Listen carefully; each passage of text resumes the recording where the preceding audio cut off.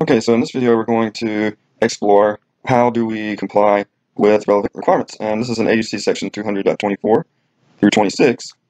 So first we see that an auditor should comply with each requirement of an AUC section unless, in the circumstances of the audit, the entire AUC section is not relevant or the requirement is not relevant because it is conditional and the condition does not exist. So what exactly does that mean? Let's go down to um, the particular interpretive guidance uh, for this and get some more color.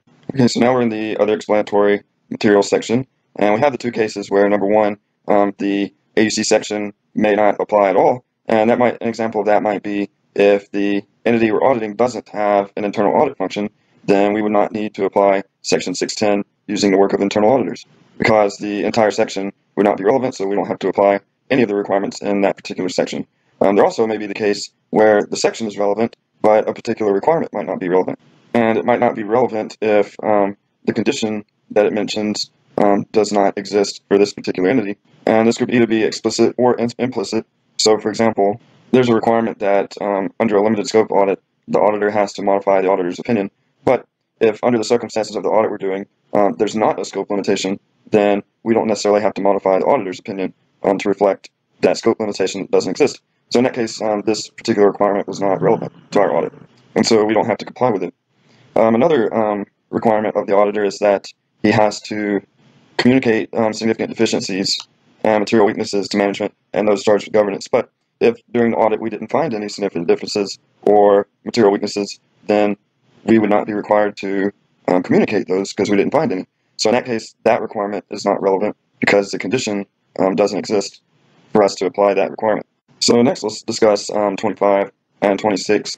So in these we see that GAAS uses two categories of requirements and they describe the degree of responsibility that that requirement imposes on the auditors. So these two different categories are unconditional requirements and presumptively mandatory requirements. So the unconditional requirement tells us that the auditor must comply with an unconditional requirement in all cases in which a requirement is relevant.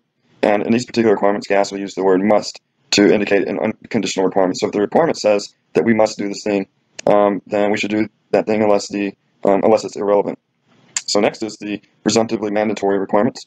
And so the auditor must comply with the presumptively mandatory requirement in all cases in which such a requirement is relevant, except in rare cases um, discussed elsewhere. But um, GAAS uses the word should to indicate a presumptively mandatory requirement. And so the auditor uses his professional judgment to decide whether or not he should comply to, with a um, requirement. And in the case that he doesn't comply with that requirement, he needs to document it well to explain why he strayed from that particular requirement. But there are certain circumstances where that might uh, become necessary.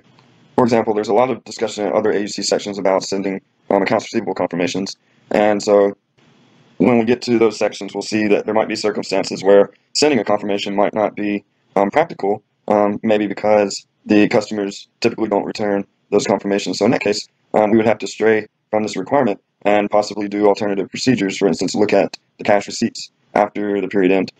And we see that here that under circumstances where he does um, stray from the particular requirement, he has to do some kind of alternative procedure to achieve the intent of that requirement. So looking at subsequent receipts uh, from the customers might give us some um, evidence for the existence and accuracy of the receivable on the books. And so we, we only need to, or we shouldn't depart from requirements, but only in certain circumstances where um, the procedure that the requirement tells us to do is ineffective in achieving the intent of the requirement.